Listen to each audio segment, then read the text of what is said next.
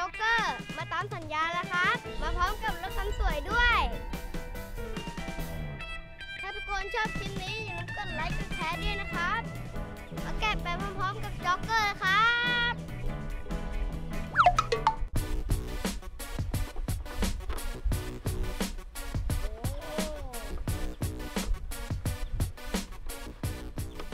พอแกะออกมาเรียบร้อยนะครับ ในกล่องก็จะมีตัวรถรีโมท ถ่านชาร์จ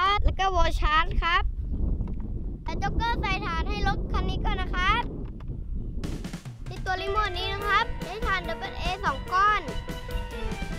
ส่วนที่ตัวรถนี่นะครับใช้ถ่านที่เขาเตรียมมาให้เลยครับ แต่ก่อนเล่นชาร์จก่อนนะครับ ตอนนี้รถโจ๊กเกอร์เสร็จแล้วนะครับเดี๋ยวมาดูกันว่ามันจะแรงแค่ไหน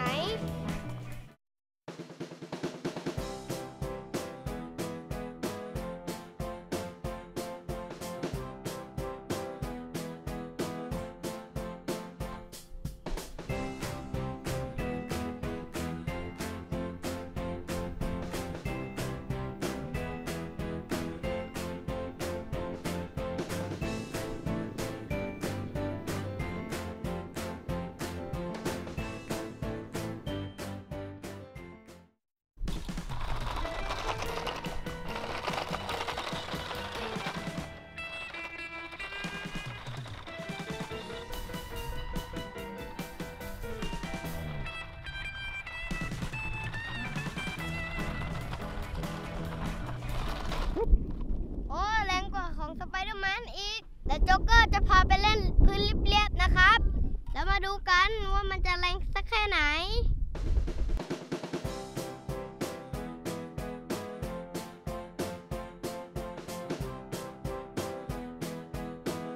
ตอนนี้จะลงสัญญาณครับว่ามันจะไกลแค่ไหน